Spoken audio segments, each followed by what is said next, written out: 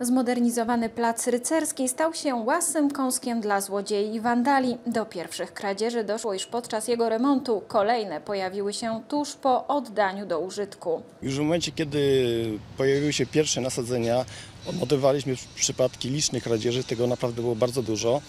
I dlatego też e, nasze działania były ukier- ukierunkowane na to, żeby pilnować tego, co tutaj się pojawiało.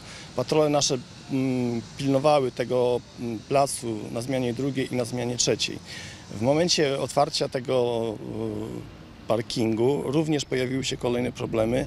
Również problemy z kradzieżą. Mm, Został skradziony jeden z elementów ogrodzenia.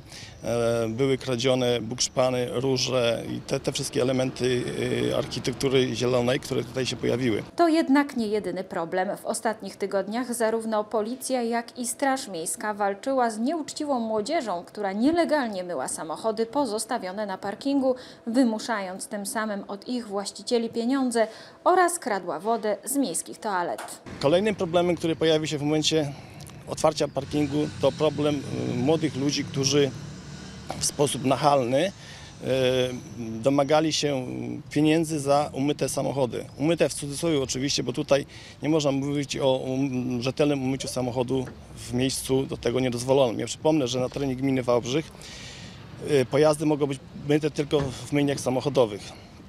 Natomiast w pozostałych miejscach można myć e, pod warunkiem, że ścieki spływają do instalacji sanitarnej.